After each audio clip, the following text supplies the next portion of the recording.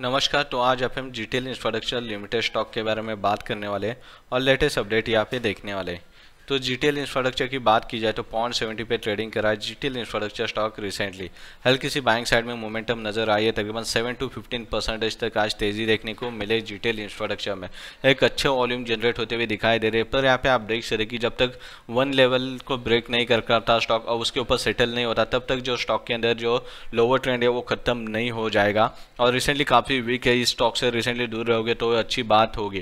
क्योंकि जब सस्टेन होगा स्टॉक तब एंट्री करेंगे तो अच्छी मोमेंटम नज़र आ जाएगी।